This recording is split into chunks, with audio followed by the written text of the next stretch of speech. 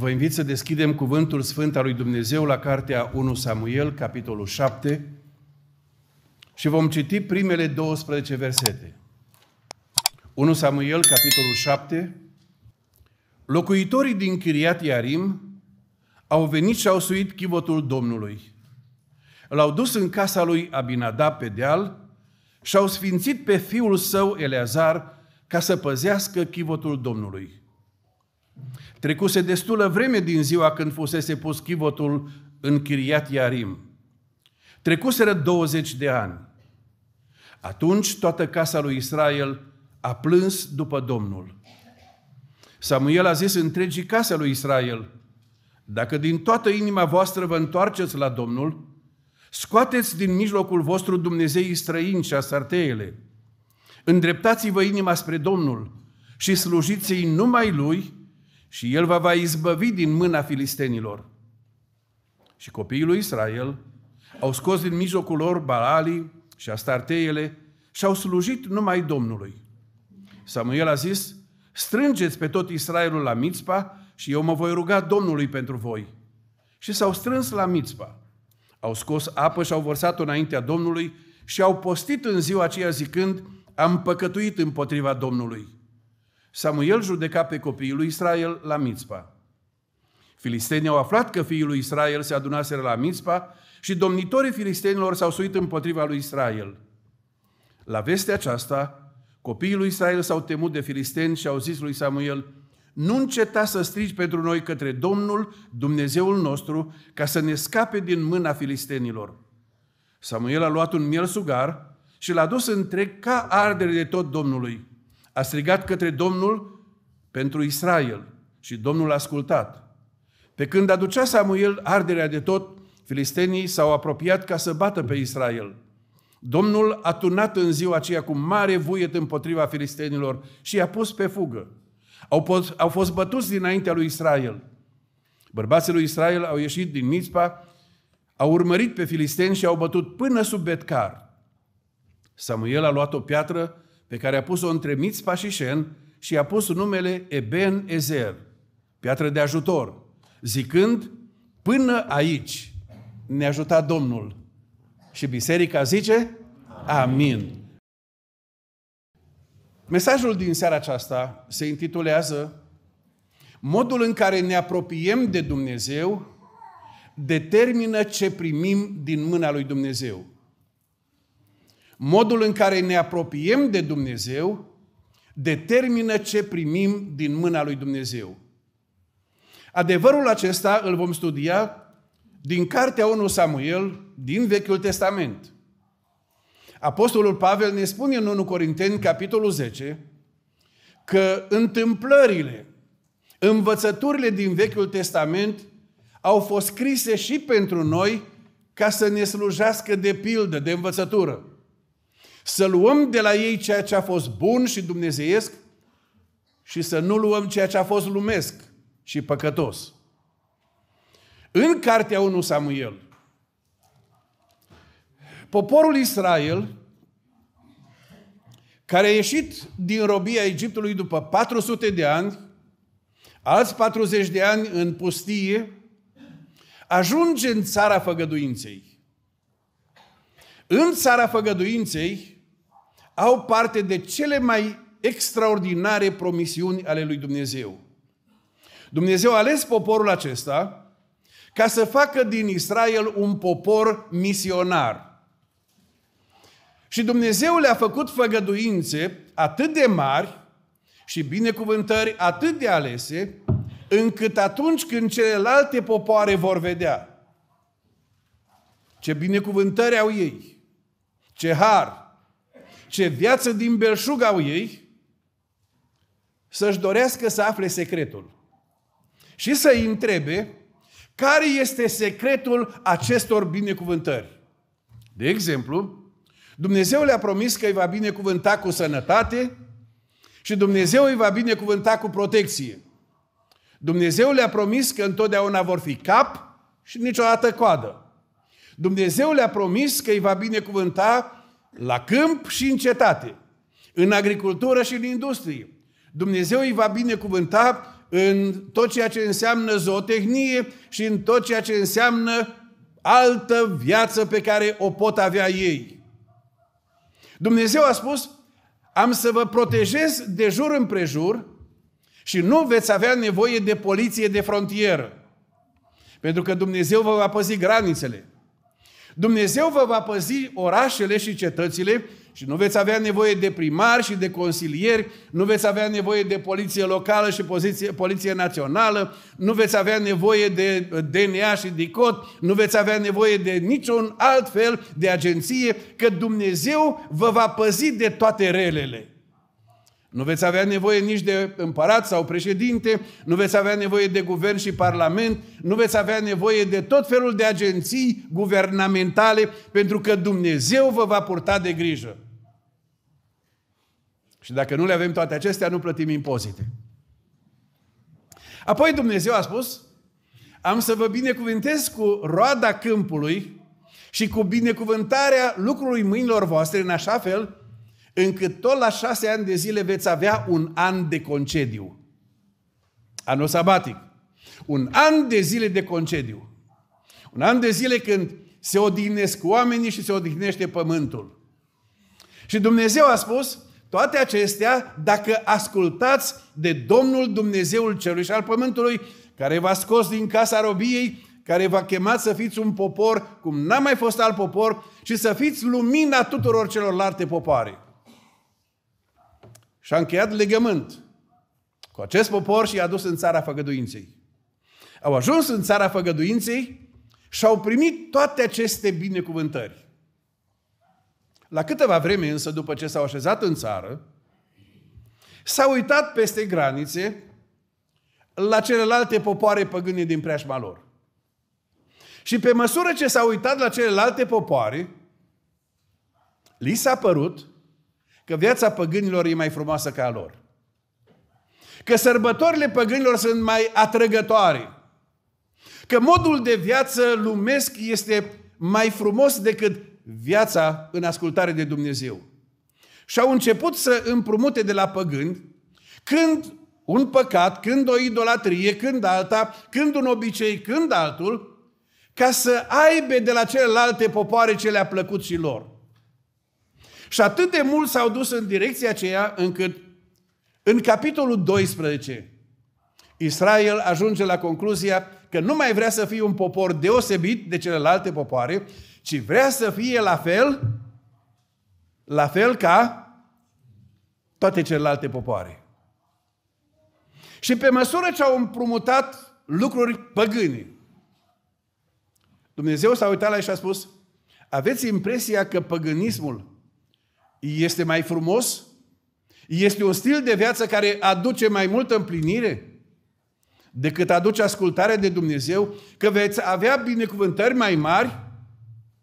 Dacă asta e convingerea voastră, Dumnezeu a spus atunci, nu vă mai păzesc granițele și am să dau voie păgânilor să vină să vă cucerească țara și să trăiți sub stăpânirea lor. Și au venit păgânii și le-au cucerit țara și au ajuns sub robia păgânilor și toată cartea judecătorilor ne explică modul în care au gemut sub apăsarea păgânilor și au strigat către Dumnezeu după eliberare. Când s-au pocăit și s-au întors la Dumnezeu, Dumnezeu i-a eliberat și generația aceea a trăit frumos în ascultare de Domnul. Dar copiii lor au repetat istoria. Și câteva sute de ani în Cartea Judecători avem această, această evoluție a lor sau involuție. Se uită la lume, vor să ia lucruri lumești, Dumnezeu îi lasă pe mâna păgânilor, trăiesc amarul și apăsarea, se întorc la Dumnezeu și strigă după ajutor, Dumnezeu izbăvește, copiilor repetă istoria. Dar când ajungem în cartea 1 Samuel, după sute de ani de asemenea experiențe, copiii lui Israel ajung la un punct de maximă viclenie. Care e viclenia?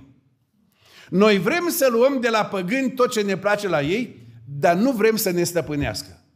Vrem să avem independență, dar să luăm de la ei doar atât cât vrem noi. Așa că o să ne organizăm armata și ne apărăm noi granițele. Și acum vă rog să deschideți în capitolul 4 din 1 Samuel, pentru că este momentul în care un popor păgân, filistenii, vin ca să invadeze țara lui Israel și citim în capitolul 4 de la versetul 2. Filistenii s-au așezat în linie de bătaie împotriva lui Israel și lupta a început. Israel a fost bătut de filisteni care au omorât pe câmpul de luptă aproape 4.000 de oameni. E o bătălie cumplită, nu se pot apăra singuri. E o pierdere teribilă, 4.000 de bărbați mor, 4.000 de familii îndoliate.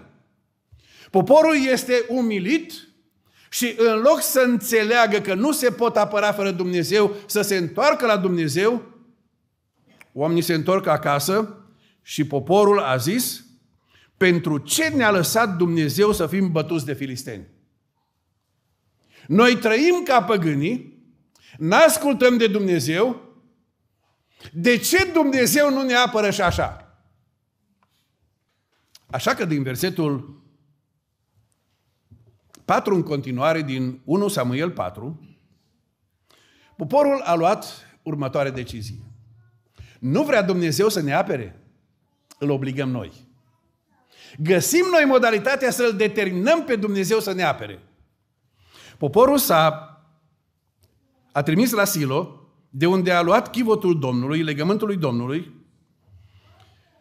și împreună cu cei doi fii a lui Eli, Hovni și Fineas, care ședeau la cortul lui Dumnezeu, au adus chivotul lui Dumnezeu.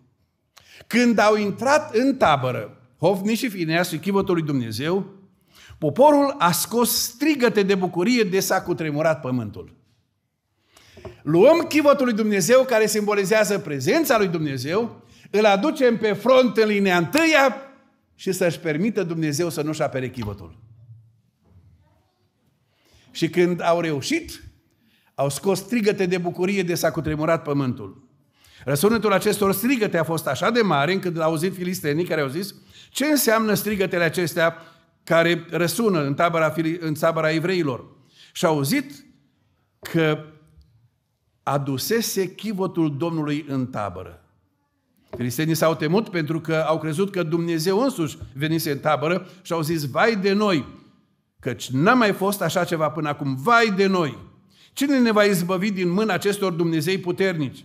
Dumnezeul, Dumnezeii aceștia care au lovit pe egipteni cu tot felul de urgii în pustie, întăriți-vă și fiți oameni filistenilor, ca nu cumva să fiți robii evreilor, așa cum v-au fost ei rob vouă. Fiți oameni și luptați. Filistenii au impresia că a venit Dumnezeu însuși pentru că au auzit acel strigă de bucurie și începe lupta.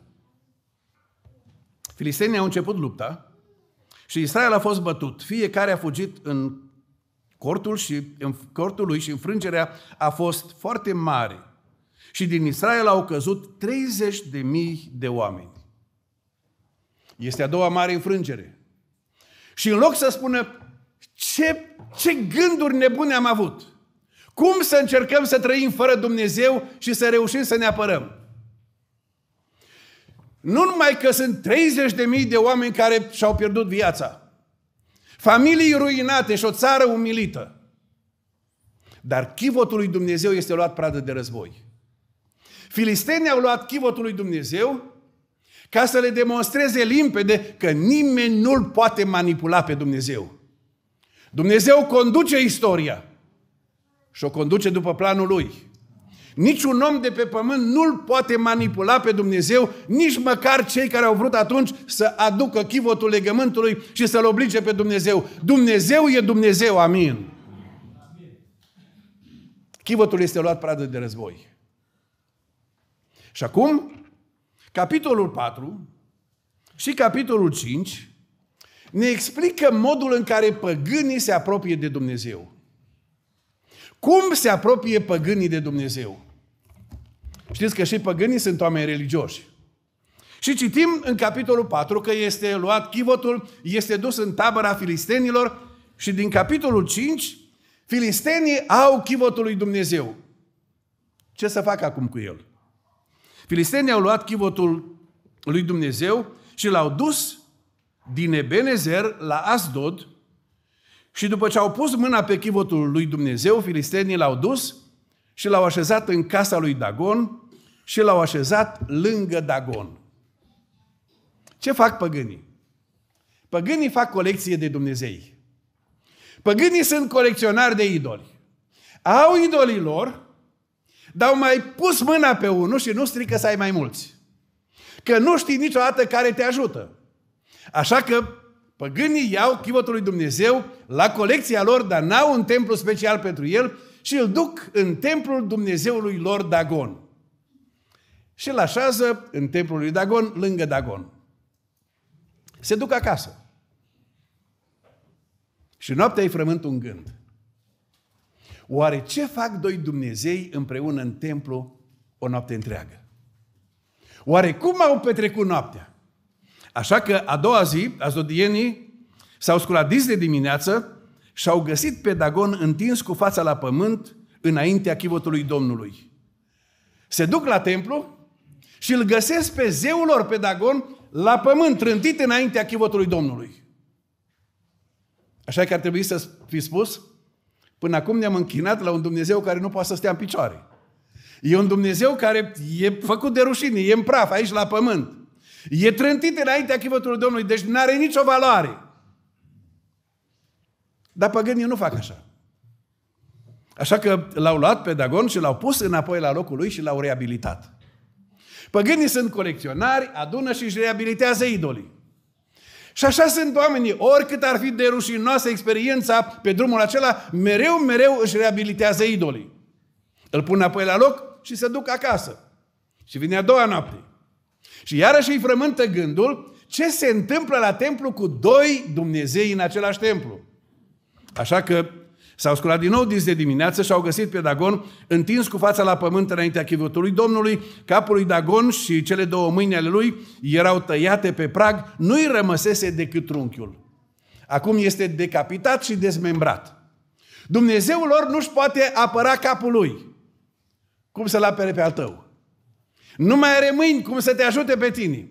Este pur și simplu dezmembrat și decapitat și este trântit pe prag. Știți ce fac păgânii?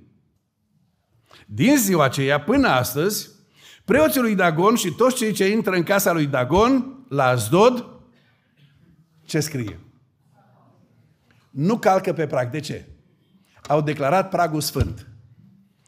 Mai introduc un ritual.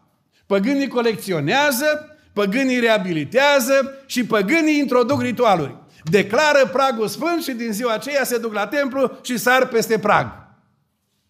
Și Dumnezeu se uită la ei și, și, și vede că nu pricep că au zei care nu-s buni de nimic, așa că Dumnezeu le dă următoarea lecție. Până acum v-am judecat idolii. Acum judecata lui Dumnezeu se îndreaptă spre oameni. La versetul 6 din capitolul 5, mâna Domnului a păsat asupra celor din Asdot și le-a pustiit țara și i-a lovit cu bube la șezut, atât în Asdot cât și în ținutul lui. Acum mâna lui Dumnezeu este împotriva lor și le-a pustuit țara și când spune că le-a pustuit țara, a dat drumul la o invazie de șoareci și vom vedea în versetele următoare, o invazie de șoareci în holdele lor și le-a distrus recolta. De asemenea, Dumnezeu a lăsat o ciumă bubonică și oamenii din Asdod au suferit cumplit de ciuma aceasta bubonică. Când au văzut că sunt atât de rău loviți, cei din Asdod au zis, chivotul lui Dumnezeu, Dumnezeul lui Israel, să nu mai stea la noi, ci să îl ducă în altă parte. Și unde să-l ducă? L-au dus la Gat. Să meargă la cei din Gat. Ajunge chivotul la Gat, aceiași colecționari și din nou aceeași experiență. Mâna lui Dumnezeu apasă asupra lor. Și vor să-l ducă la Ecron. Și când să-l ducă la Ecron, cei din Ecron spun să nu vină la noi. Noi nu vrem, dacă avem un Dumnezeu de colecție și nu-l controlăm noi, și este un Dumnezeu care face ce vrea El. Nu vrem să avem de-a face cu El, să scăpăm de El. Așa că se adună domnitorii filistenilor, cei din Gat, cei din Ecron, cei din Asdod și spun, cu un asemenea Dumnezeu nu vrem să avem nimic de-a face. Să scăpăm de El. Dar ce să facem cu El ca să scăpăm? Păi îl trimitem înapoi în Israel, să meargă din nou la cei de la care l-am luat. Și hotărăsc să trimită chivotul lui Dumnezeu înapoi în Israel și în timp ce sunt toate gata, pregătite să-l trimită, vin preoții vrăjitori ai filistenilor. Și spun, stați puțin. Să nu care cumva să devenim noi mistici. Să nu care cumva să credem noi ceva ce nu e adevărat, dacă toate nenorocirile acestea n-au nimic de a face cu Dumnezeul lui Israel, ci sunt pură întâmplare.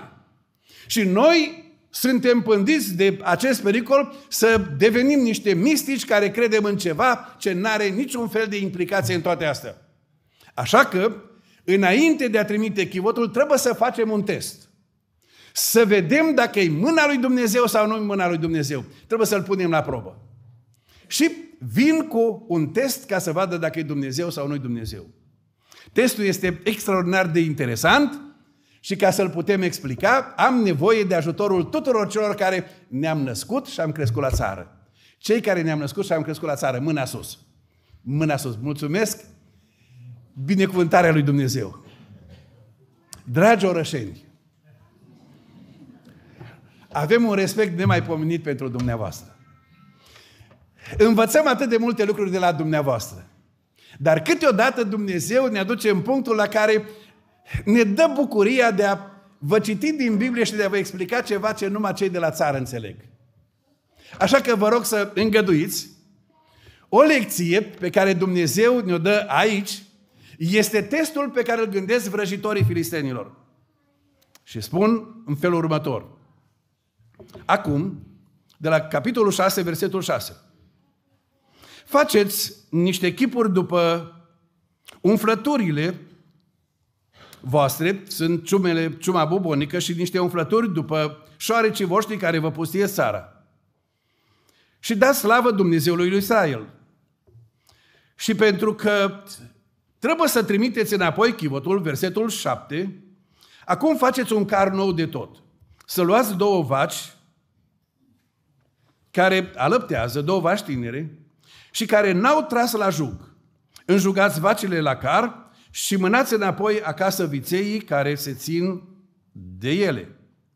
Să luați chivotul Domnului ca să-l puneți în car, să puneți alături de el într-o ladă lucrurile de aur și pe care le dați Domnului ca dar pentru vină, apoi să-l trimiteți și va pleca. Să-l urmăriți cu privirea. Și dacă se va sui pe drumul hotarului înspre Becemeș, Domnul ne-a făcut acest mare rău. Dacă nu vom ști că nu mâna lui ne-a lovit, ci lucrul acesta a venit peste noi ca din întâmplare. Ăsta e testul. Faceți un car nou, puneți în car chivotul lui Dumnezeu și o altă ladă cu darurile voastre.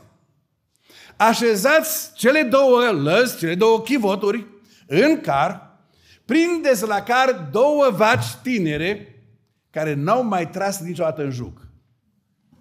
Au și viței în perioada de alăptat.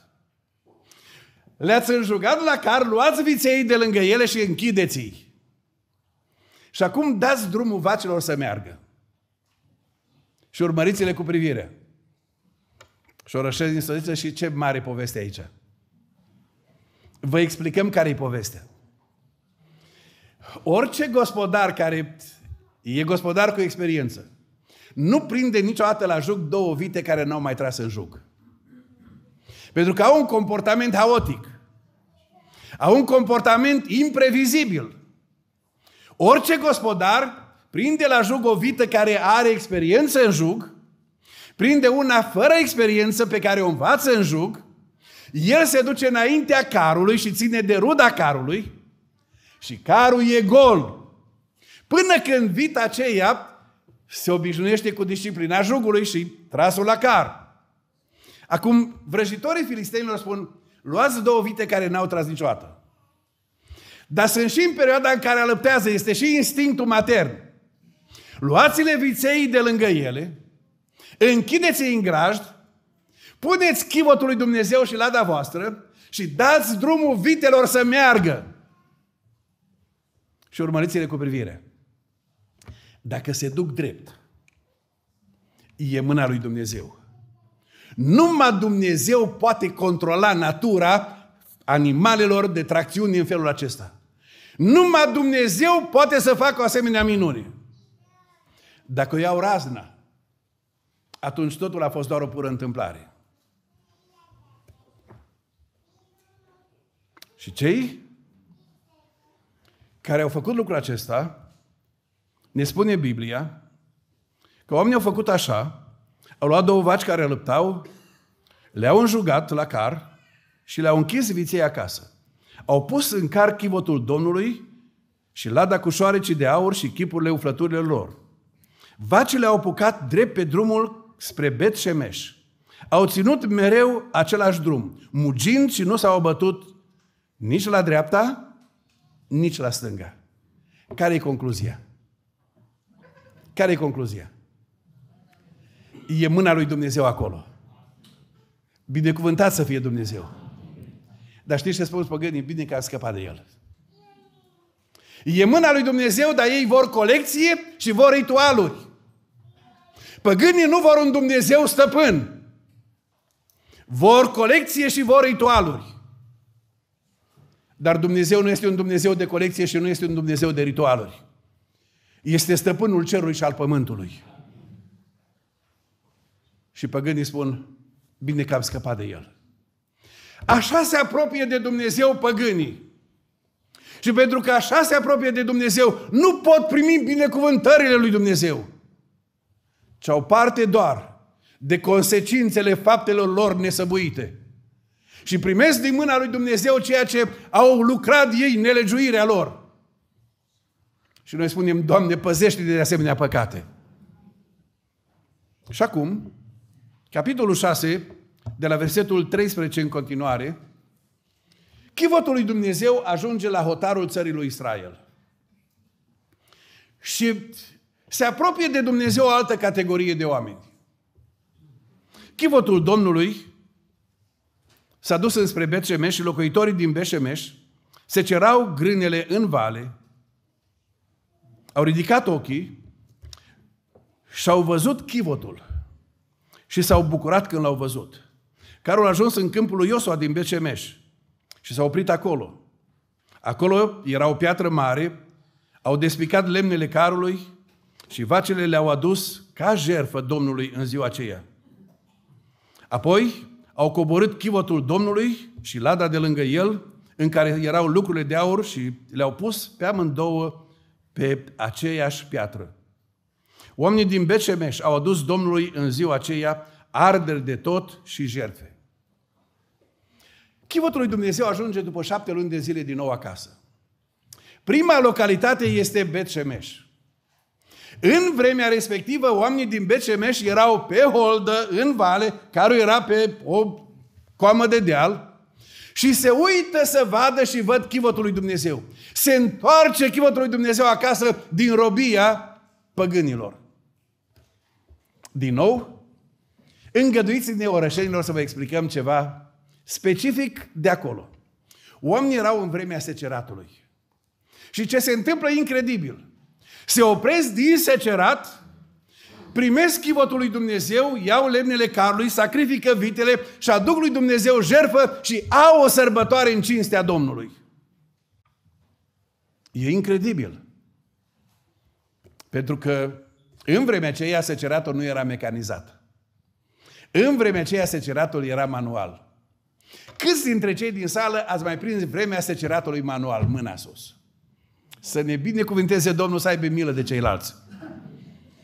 Vă aduceți aminte că în vremea seceratului ne sculam dimineața de tot ca la ora 3 și ceva să fii în holdă.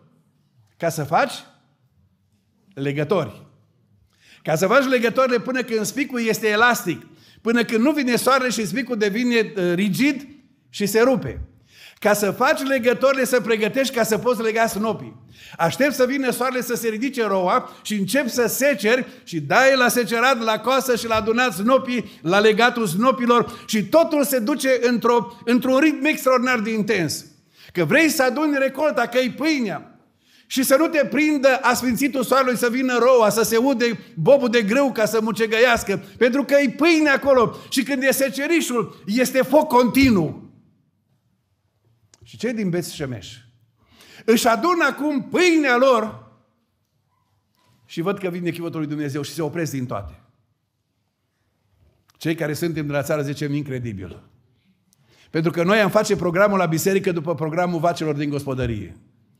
Când trebuie să le dau de mâncare, când trebuie să le dau apă, când trebuie să le dau una sau alta și facem programul lui Dumnezeu după programul orătănilor din gospodărie. Cei din BSM spun, vine chivotul lui Dumnezeu acasă. Și ne oprim din toate cele și sărbătoare. Și aduc jertfă și este o sărbătoare nemaipomenită, numai că se întâmplă ceva incredibil. Versetul 19.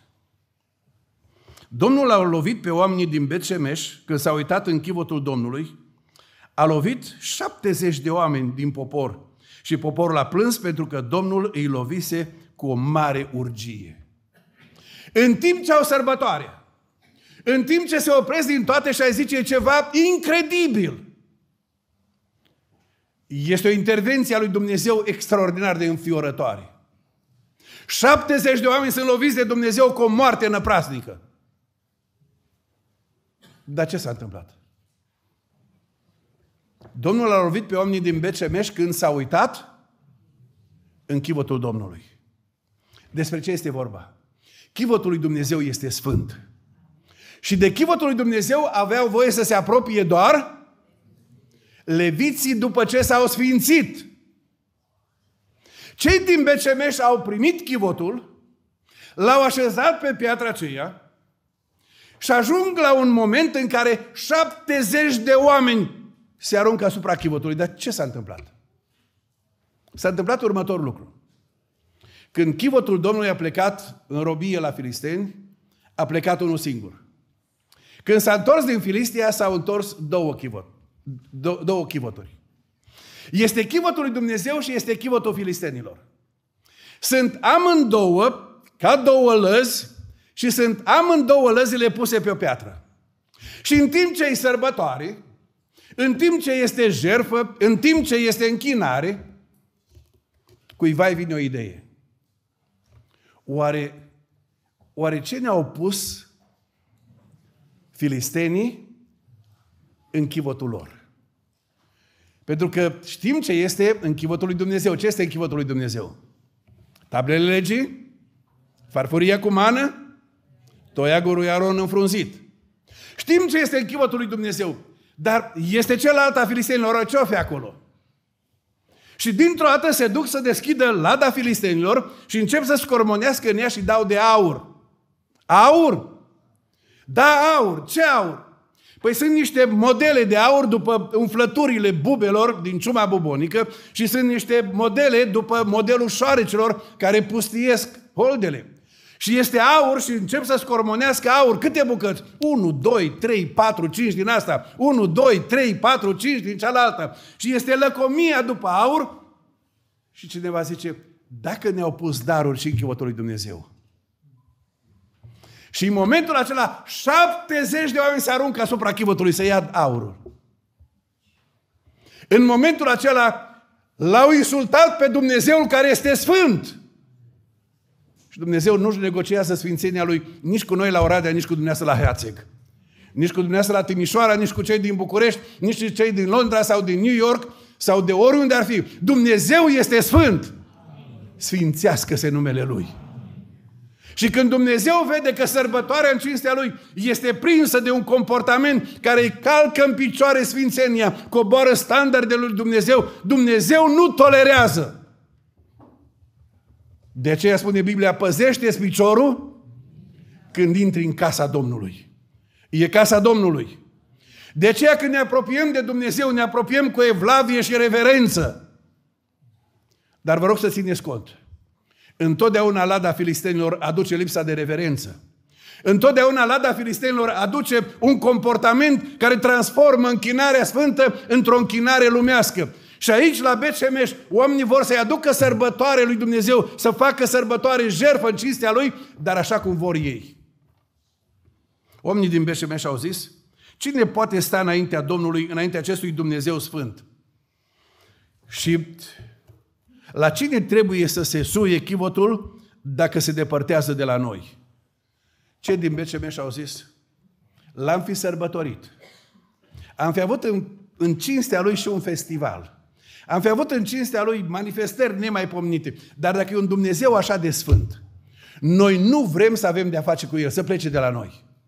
Dacă nu ne lasă să-L sărbătorim cum vrem noi, nu ne trebuie un Dumnezeu care ne cere să-L sărbătorim cum vrea El, să plece de la noi. Și au hotărât să trimită chivotul de la ei. Credincioși lumești. Oameni care vor să-L sărbătorească pe Dumnezeu în termenii lor. Frați și surori, Dumnezeul nostru este sfânt și El stabilește termenii.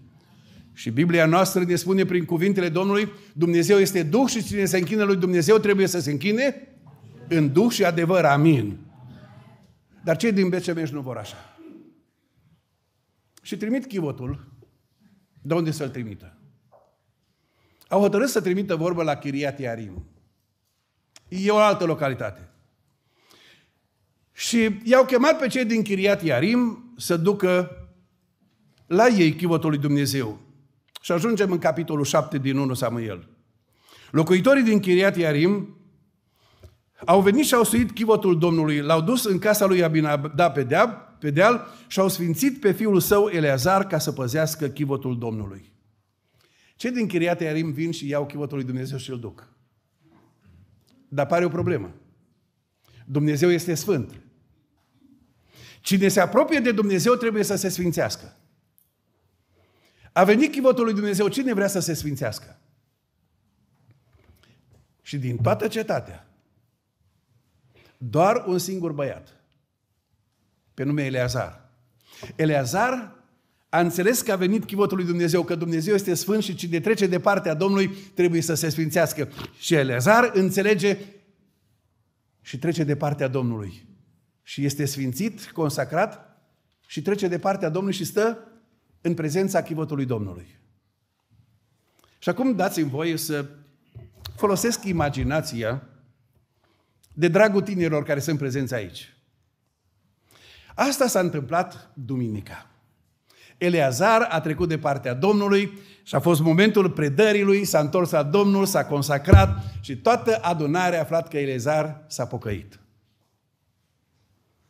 Sâmbătă seara, Tinerii din Chiriat Iarim s-au adunat ca să aibă o seara lor pentru că părinții, unora dintre ei îți plecați din țară și sunt numai ei acasă. Nu se întâmplă asta la Hațec, se întâmplă în alte părți. Și dacă sunt părinții plecați de acasă, ne adunăm noi tineri și avem o seară nemaipomenită. O să ne uităm la filme, ascultăm muzică, o să avem jocuri, o să ne distrăm și o să avem o seară și o noapte nemaipomenită, că nu sunt părinții acasă. Și cineva zice, dar hai să trecem să luăm și pe Eleazar. Așa că se duc doi, se spune Eleazar, uite ce am planificat pentru sâmbătă seara, nu poți lipsi de la întâlnirea noastră, Eleazar, venim să te luăm. Și Eleazar spune, n-ați înțeles nimic. Eu am trecut de partea Domnului.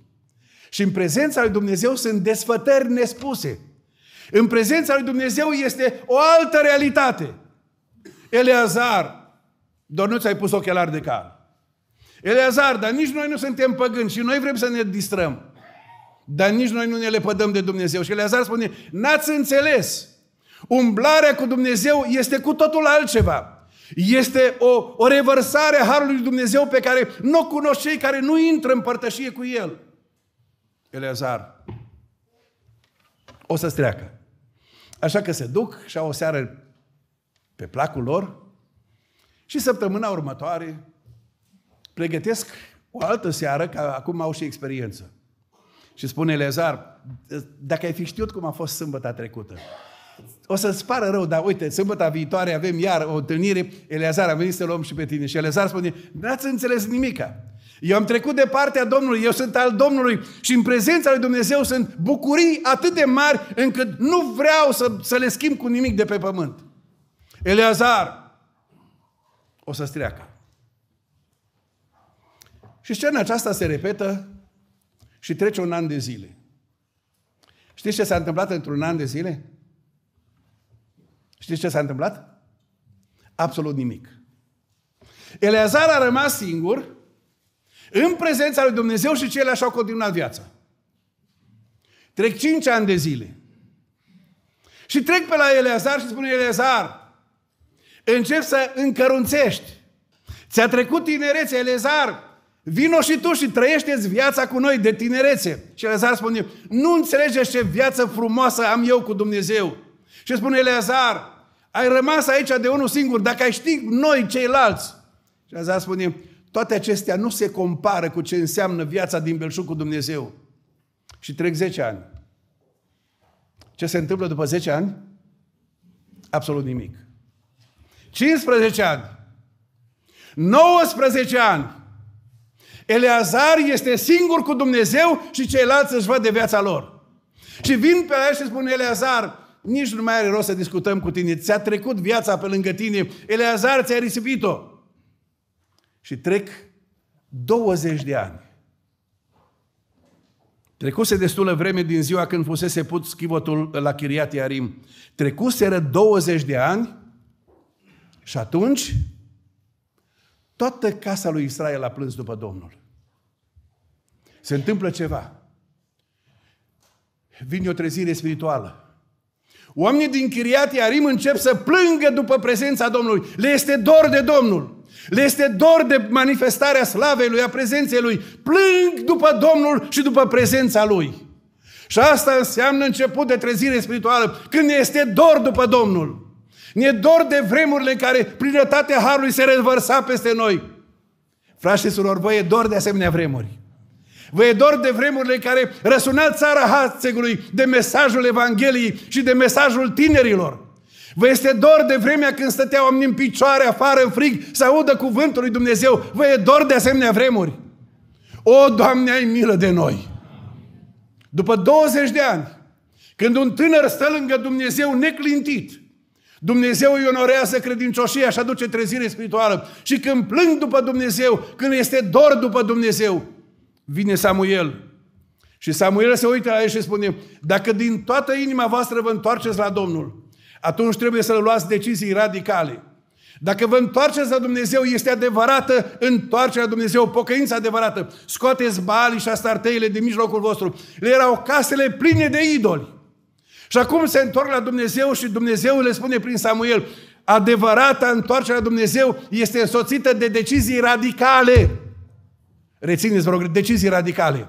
Nu jumătăți de măsură. Dacă ne-am întors la Dumnezeu, Dumnezeu este singurul Dumnezeu binecuvântat să-i fie numele. Și cei din Israel scot afară bali și astarteile, idoli spurcați, ai cananiților, îi scot afară. Și oameni care se întorc la Dumnezeu scot afară tot ce este spurcat. Am văzut tineri care s-au întors la Dumnezeu, s-au dus acasă și au luat calculatorul și au început să scoată afară din calculator tot ce era necurat. Alții și-au luat sertarele și au scos din sertare, alții și-au luat frigiderul, alții și-au luat cămara și au scos afară tot ce trebuia scos afară. Frați și surori, dacă nu-i decizie radicală, nu-i pocăință adevărată, este doar foc de paie. Și Samuel spune, dacă e adevărată această întoarcere la Dumnezeu, atunci despărțiți-vă total. Și oamenii se întorc la Dumnezeu din toată inima. Și Samuel spune, dacă este adevărată întoarcerea la Dumnezeu, ne întâlnim la Mitzpa. Mitzpa înseamnă turn de veghere și de rugăciune. Și Samuel spune, ne întâlnim la rugăciune și veghere. Și se adună tot Israelul la rugăciune, pentru că adevărata pocăință are cu sine această pasiune de a sta de vorbă cu Dumnezeu, a rugăciunii. Se duc și postesc și stau înainte lui Dumnezeu și se roagă. Trăim o vreme în care multe biserici au scos de tot timpul de rugăciune. Știți de ce? Se plictisesc. Și vor să le înlocuiască cu altceva. Dragii mei, când ne-am plictisit de rugăciune, e limpede că nu mai avem părtășie cu Dumnezeu.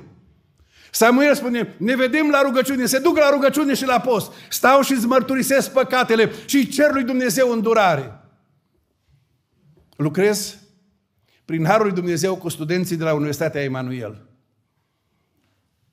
Avem studenți nemaipomeniți. Uneori, mă duc noaptea în campus când studenții nu știu că sunt în campus. Avem rânduiele noastre, la ora 10 jumate se dă stângerea, stingerea. Cine vrea să studieze, să se roage, avem săli special pregătite ca să poată sta, să se roage, să citească, să aibă părtășie. Și sunt rânduieli care sunt potrivite pentru oameni care umblă în lumina lui Dumnezeu. Într-o noapte m-am dus în campus, era destul de târziu, lumini stinse la partea dormitoarelor, M-am uitat la partea geamurilor unde sunt sălile speciale de studiu și de părtășie și într-o asemenea sală luminile erau stinse. Așa că m-am dus încet și am deschis ușa și am aprins becul să văd ce se întâmplă, de ce e stinsă lumina. Era un singur băiat. Era pe genunchi, cu fața la perete. Și era cu fața la peretele dinspre oraș. Și când eu am intrat și am aprins lumina, el se ruga și spunea, Doamne, m-ai chemat la școală aici în universitatea aceasta și vreau să mă sfințesc. Vreau să trec total de partea ta. Doamne, sfințește-mi gândirea, privirea, sfințește-mi viața. Doamne, sunt pe altarul tău. Pune pe cetea ta peste mine și folosește-te de mine pentru slava ta. Mi-au dat lacrimile. Am stins lumina și am tras încet ușa. M-am dus în biroul meu. M-am pus pe genunchi. I-am mulțumit lui Dumnezeu pentru asemenea tineri. Și am spus, Doamne, sfințește și viața mea. Și viața familiei mele și a profesorilor de aici. Sfințește viața tinerilor din bisericile noastre. Eleazar este singurul care se duce înaintea lui Dumnezeu și Dumnezeu îl onorează și vine trezirea spirituală peste toată cetatea. Și când sunt la rugăciune și la post, filistenii aud și trag următoarea concluzie. Dacă atunci când erau înarmați, am omorât 30.000 de bărbați din Israel, acum că sunt la post și rugăciune, inimicim pe toți. Așa că au pregătit un atac fulger, s-au pregătit și prin surprindere au dat un atac fulger asupra copiilor lui Israel care erau în post și rugăciune la Mitzvah. Și când au auzit că vin filistenii la atac, copiii lui Israel s-au dus la Samuel și au spus, Samuel, este o primejdie, un atac nemaipomenit. Samuel strigă către Dumnezeu pentru noi. Scena este copleșitoare. Samuel, în fața celui mai feroce atac a filistenilor, cu un popor total nenarmat și nepregătit, Samuel face ceva incredibil. Ia un miel, un miel crud, și îl aduce întreg ca ardere tot Domnului. Dar Samuel este, este amenințare militară. Samuel măcar spune să se împrăștie, să fugă prin pădure. Samuel aduce un miel și îl aduce ca jertfa lui Dumnezeu înaintea întregului popor. Dar de ce? Ca să le arate celor de acolo. Ceea ce Ioan Botezătorul va striga peste viacuri. Iată mielul lui Dumnezeu care ridică păcatul lumii. Samuel aduce jertfa lui Dumnezeu și aduce un miel ca să-i spună lui Dumnezeu, în jertfa mielului este speranța noastră. Și când Dumnezeu aude rugăciunea și jertfa, Dumnezeu a tunat împotriva filistenilor, Dumnezeu i-a nimicit în ziua aceea, Dumnezeu le dă biruință. Dar peste veacuri, noi nu ne mai uităm la mielul acela, ci pe dealul Golgotei a fost ridicată crucea cu un alt miel. Este Fiul lui Dumnezeu. Acolo la cruce între cer și pământ, cu păcatele tale și păcatele mele, în fața celei mai mari pedepse din univers, despărțit de Dumnezeu o veșnicie întreagă, mielul lui Dumnezeu strigă, Tată, iartă-i! Iartă-i că nu știu ce fac. Și când jertfa a fost înălțată, pentru tine și mine este eliberare. Slăvit să fie Dumnezeu! Eliberare din robia păcatului, eliberare din robia lumii acesteia, eliberare din obiceiuri, din practici păcătoase, este eliberare din orice fel de atac demonic, pentru că Isus Hristos este Domnul. Și în ziua aceea este mare biruință acolo și în ziua în care oamenii se uită la mielul lui Dumnezeu, este biruință pe pământ în vremea noastră. Și ne-am adunat în seara aceasta să ne uităm la crucea lui Hristos să spunem, Doamne, dacă mielul acela care doar arăta spre jertfa ta a dus atâta încurajare și biruință, acum că jertfa a fost adusă, revarsă harul mântuirii peste pământ. Dar totul a început cu un băiat care a trecut de partea Domnului. Îngăduiți-mi acum câteva întrebări. Prima întrebare se adresează părinților. Câți v-ați dori să aveți un copil ca Eleazar? Cât ați dori să aveți un copil care trece de partea Domnului și rămâne de partea Domnului? Și pe care nu-l poate clinti nimeni și nimic. A doua întrebare adresată tinerilor. Câți ați vrea să fiți ca Eleazar? Câți ați vrea să fiți tineri care ați trecut de partea lui Dumnezeu și împreună cu Dumnezeu să lucrați pentru vremea în care Dumnezeu va duce cercetarea Lui peste pământul acesta? Menționa fratele păstor la început, mesajele cele din cartea lui Daniel în lume, dar nu ca lumea. Frați și surori, niciodată lumea aceasta nu și-a putut rezolva problemele ei. Lumea are atâtea probleme și are resurse atât de puține că niciodată nu și-a putut rezolva problemele. Întotdeauna rezolvarea marilor probleme a omenirii au venit din cer. Rezolvarea a venit totdeauna din cer. Și când Dumnezeu deschide cerul, vine rezolvarea pentru cele mai mari probleme. Dar îngerul a zis, nu vă temeți că îți va duc o veste bună care va fi o mare bucurie pentru tot norodul. Astăzi, în cetatea lui David, vi s-a născut un mântuitor care este Hristos Domnul. Și când Domnul Iisus a spus, când Fiul omului va fi înălțat, va trage toți, toți oamenii la sine.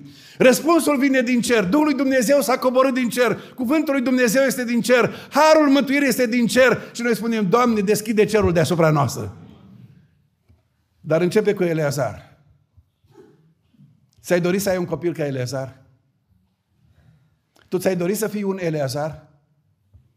Ți-ai dorit să ai momentul acela în care spui, astăzi trec de partea Domnului cu tot ceea ce sunt și cu tot ceea ce am.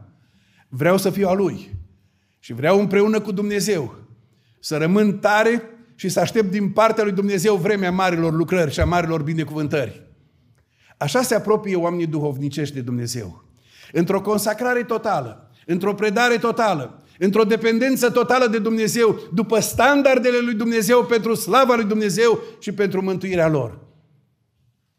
Cum se adună și cum vin înaintea lui Dumnezeu păgânii? La colecție și la ritualuri. Cum vin cei firești lumești? Spectacole după cum le place lor și dacă Dumnezeu nu îi lasă să facă ce vor, să plece Dumnezeu de la noi. Cum se adună cei duhovnicești? Trecând de partea Domnului, în consacrare, în lepădare de tot ce îi lumesc, în separare de tot ce îi păcat, în rugăciune și în dependență de Dumnezeu și așteptând izbăvirea lui Dumnezeu pentru cei pentru care se roagă.